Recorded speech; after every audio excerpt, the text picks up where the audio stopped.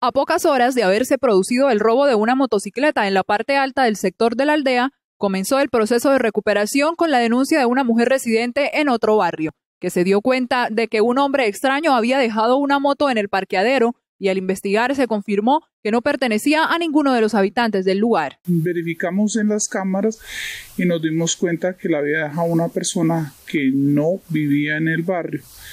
Eh, llamé a la a la doctora Pilar de Gestión y Riesgo, eh, donde se verificó con la policía de que la moto había sido reportada como robada. La información fue transmitida de inmediato a la Secretaría de Seguridad del municipio, que comprobó que se trataba del vehículo hurtado en el sector de la aldea. Producto de la información oportuna y veraz de la comunidad a través de la Secretaría, se pudo identificar que esta motocicleta había sido hurtada de otro barrio y se hizo la recuperación de la misma. Dirigentes comunales de Girón han destacado la forma como las cámaras han contribuido a mejorar de manera ostensible la seguridad y a combatir la delincuencia en todas sus modalidades. Nosotros estamos viendo hace años atrás una inseguridad terrible, que había un punto crítico y ahorita en estos tiempos se pusieron las cámaras que la alcaldía de Girón instalaron y nos ha dado un buen resultado.